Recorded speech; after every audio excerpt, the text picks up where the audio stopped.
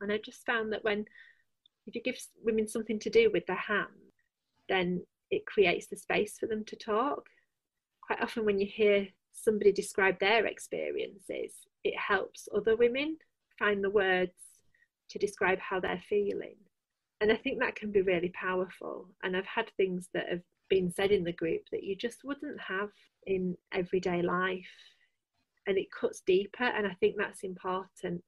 Kind of want deeper connections and I want to feel the emotion and and I get that from maternal journal. I get that kind of sense that women are talking about what really matters and not just that kind of surface level, it goes deeper. And I think we've all just got a need to feel connected and to I don't kind of validate how we're feeling. I think mm. that's I think that's really important because it can be lonely. It can be lonely being a mom.